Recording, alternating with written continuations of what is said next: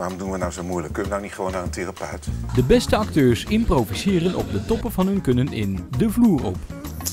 En hoe denk jij eigenlijk over kinderen? Ik wil helemaal geen baby. Lelijke, saaie mormels. Het is een alien! Ik vind baby's echt stinken. Maar ja, wat wil je met zo'n moeder? Wil je even lekker bij mij op schoot zitten? Eh, ik ben nog te. Ik ben nog nooit te. Ik ben nog nooit te. De Vloer op.